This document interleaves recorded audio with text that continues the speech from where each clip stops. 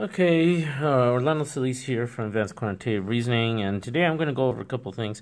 Uh, right now, we're exploring this uh, data sheet called Length of Daylight, and this is an activity where we're going to go ahead and look at the um, the light as it as it goes ahead and goes. Um, you know, from uh, they record the uh, the time from sun uh, sun up from sunrise to sunset.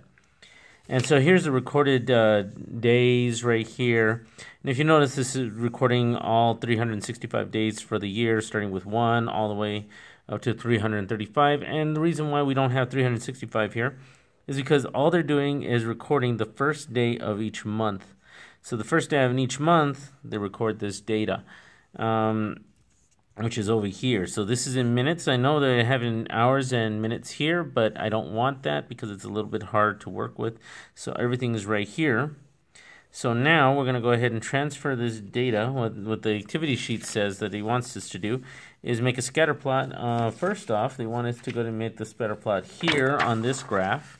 You know, we put all the little dots right here. You know how to do that, but we're not going to do that here right now. Now also, you want us to go ahead and put the data inside of our calculators and produce a scatter plot on our calculator. Now that's pretty easy to do with this new TI Nspire. So I'm going to hit on. I'm going to go right here to data and statistics, hit enter, and there it is. So what I'm going to do is I'm going to go ahead and uh, click to add variables so I can go ahead and use the mouse to go ahead and click right there or uh, I can hit tab which is a lot easier for me and the days and numbers are in X, and this is uh, going to be my Y. Oh, and just to go ahead and show you this, let me go ahead and do this real quick. So there's the data right there. Then hit uh, tab one more time, and I want the hours and minutes. And so there we go. And there's everything right there. Now, before you do this, you got to make sure that the columns have been named where you put your data so that way the calculator can access it. I hit control and right and back over here. Now it also wants us to go ahead and generate a sinusoidal regression model for this. So we're going to go ahead and do a regression. Hit on. I'm going to go to my calculator. I'm going to bring up a calculator. There's my calculator. Menu 6, 1, and the final one is going to be actually C because there's so many regressions that we can do on this calculator. And you can see that right there. It says sinusoidal regression. So I'm going to go ahead and bring that one up. I'm going to go ahead and tell this. I'm going to use day n for my x. And I'm going to tell it also that HM, or Houston minutes, is going to be my y. And if you notice here, it says save regression equation to F1. Now this is stands for function one. It's going to actually put this in our graphing functions automatically. We don't have to tell it that. And that's the only thing I'm going to put on here.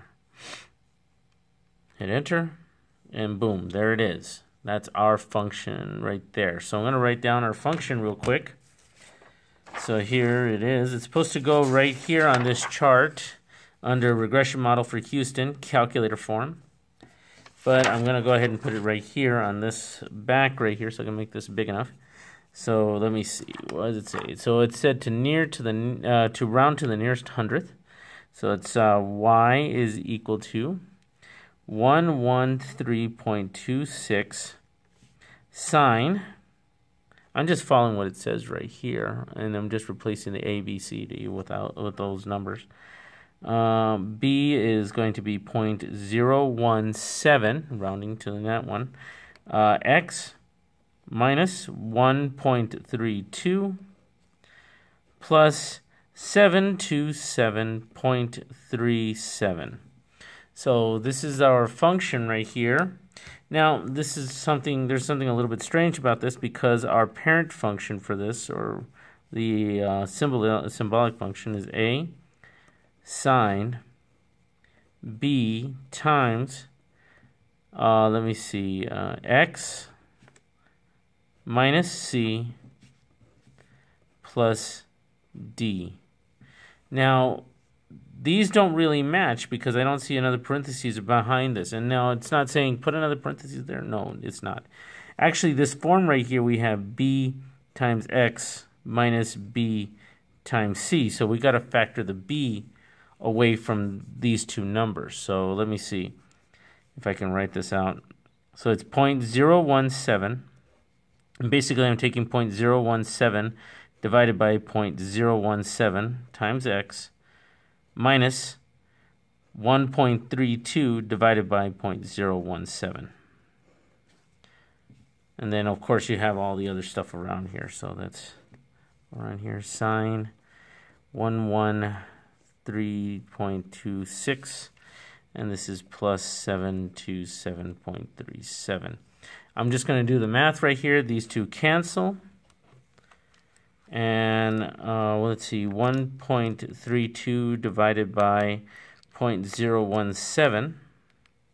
And that's 77.65. So I'm going to rewrite this all. So this is going to be equal to 113.26 sine 0.017x minus 77.65 plus 727.37. And there's our factored B form.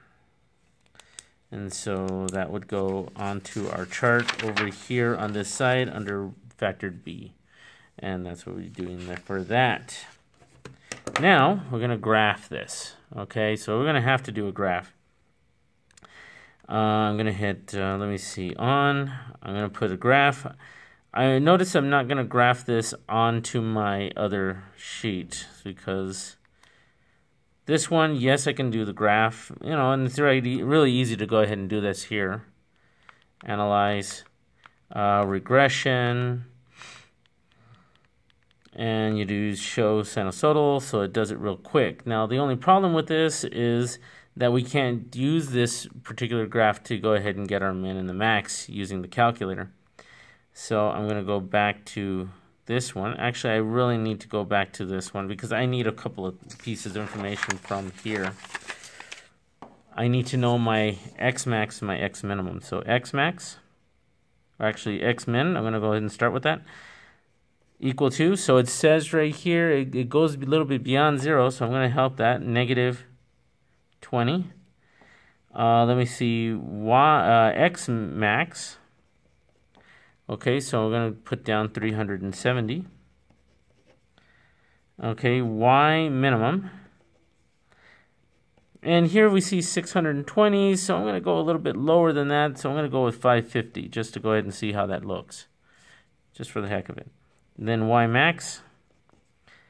Well, it says right here nine, uh, about 800, so 900. I'm going to put right here 900.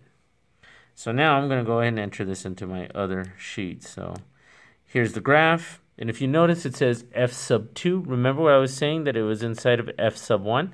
If you just push up the up button right here, it brings it up. So there it is. And there's our function. Now, to be able to see it, we have to just press enter. Well, I lied. Because, you know, you don't have this right here. So I need to change that. So you hit menu, uh, 4, 1, now I'm going to change my window size. So this is going to be negative 20. Uh, this one was 370. This one was uh, 550 and 900. And then I'm just going to push OK. And there's our function, all nice and pretty up. Okay, so that's how you graph the functions and everything. Now, one more thing. Well, actually, there's a whole bunch of other things, but we're going to go ahead and do something else. So we've already done this part. Graph your model of your scatter plot. We can see that. That's really good. Connect the points on your paper. So you're going to do that on there. Use your cal calculator to determine the maximum and minimum values for the length of day in Houston. Record which uh, these pairs in your summary table and label them on your scatter plots. To which dates do the values correspond? So right here, I am going to go ahead and find the maximum of this. So I'm going to go ahead and take my uh, arrow, put it over the graph. I'm going to hit that. I'm going to actually just click on the graph, and right now you see it glowing.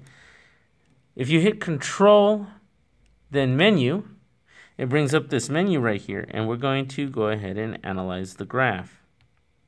And we want to check out the maximum. So hit enter on that. So you see now you have a little glove going like this, you know, that sort of thing, and you have a line. We put this line to the left of our maximum. So our maximum is somewhere right here, and you can notice it says lower bound. This is good enough, so I'm going to just go ahead and click on that. Now it's changed to upper bound. So now we need to tell this that we need to go ahead and put a line or uh, shading the value over here to go ahead and make sure that we're we're going to go ahead and look for that maximum. So I'm going to go ahead and bring this over and you can see that it creates this region. So it's going to find out what the maximum y is here. So I'm going to push enter and there's our maximum. It even has it marked. So the date for that, for the maximum, is, let me see, 172 comma 841. So we have 8 hours and 41 minutes, I mean, uh, 841 minutes of daylight. That's for the maximum of this. Now I need to also do this for my minimum. So I'm going to do my minimum. So I'm going to bring this back. I have, I still have it selected. I still have this graph selected or something like that. I'm going to hit Control Menu. It brings up the same one. I want to go back to 8, which is Analyze Graph, and I want to bring up Minimum, which is option 2. So I'm going to put this closer to my minimum, and this is where my minimum is, guys. It's always going to be on the right side right here. So I'm going to go ahead and just, I can get it closer, or I can just do it where it was. Click OK on that. Now it's asking for the upper bound, so I go all the way to the right and you can even see it, it's already calculating it. Click. And there is our minimum, which is 359 days and 614 minutes. So to go ahead and find out the date, I'm going to go ahead and look over here. I look over here my thing. Uh, let me see. My maximum date is 172. So 172, well, this right here is in between uh, June and July, so I'm going to take 172 and subtract 152 days in. So 152 is actually July 1st, so that's 20 days. So 20 days after July 1st is July, or June, sorry, 21st. That's the date of this. Also, this one if I do this one right here, 359, well, that's, uh, this is right after December 1st. So 3, 3, um, 359, and we're going to subtract 335 from there. So that gives us 424 days. So this is December and 24 days after the first would be the 25th, so December 25th. Christmas. Okay, so there we go. Now we also need to find out how many hours and minutes this is. So this is really easy to do. I'm going to go back to calculator. Oops. There it is, page 3. Okay, so now I'm going to go ahead and do this. So we take 841, divide that by 60. Well, it automatically does that. I got to remember 841 divided by 60, and I have to do control enter to go ahead and get the approximate. So that's 14 hours. And the number of minutes is basically going to be, you subtract 14, then you're going to multiply that times 60, and it's one minute. 14 hours, one minute. And same thing over here. So that's actually um, 10 hours and 14 minutes. I know that just by looking at it, but this is how you do it. 614 divided by 60. So gotta remember to do that. 10 hours. And then you go ahead and subtract that 10 and multiply by 60 again to go ahead and get your remainder 14 minutes. And that's it. All right. I'm getting kind of long in the tooth here, so I'm going to go ahead and let this go, guys, and